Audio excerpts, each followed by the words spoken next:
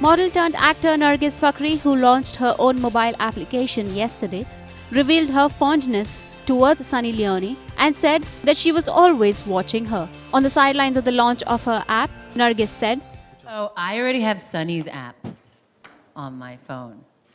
I don't know if she knows. She doesn't know. Sunny, I have your app on my phone and I watch you. I love your dance moves. It's really, and you're really hot, by the way. Okay. inviting people to share bed with her, she said.